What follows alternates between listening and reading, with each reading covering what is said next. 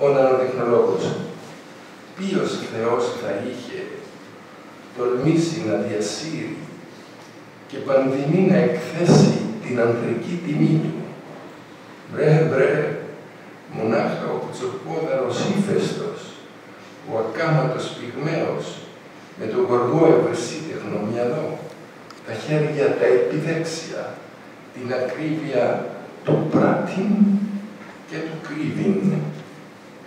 Διότι όταν συνέλαβε την Αφροδίτη περιπτυγμένη με τον Άρη, ένα κουβάρι ξανθά μαλλιά και η ρηφαλή που, προεξέ, που προεξήχαν πάνω από την κλίνη, σαν δύναμη χανεύτηκε ο ξεδιάνθρωπος, βερνικωμένο κέρατο και πέρασα πάντα στις δολιότητος για να νερέσει πάσαν αισθητική ανομαλία. Ιδού τι λέει ο μύθος. Πήρε και έφτιαξε λεπτότατο ένα δίκτυο, κορυφαίο επίτευγμα μοριακής νανοτεχνολογίας. Και αφού χαμώθηκε πως πάει ταξίδι, περίζωσε με αυτό ιερογραφίος την κλίνη του και πήγε στο καρό.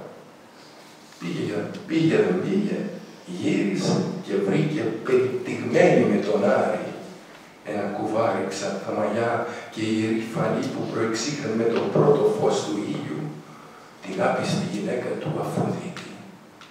Και αυτής συγκάλεσε πορνοσκοπία όλο του το συγκοινωνόη και διεγείρθηκε αγοροξυπνημένο των θεών ανθρωπολόγοι να ελέγξει από κοντά τα δίτα μέρη των διονό εραστών.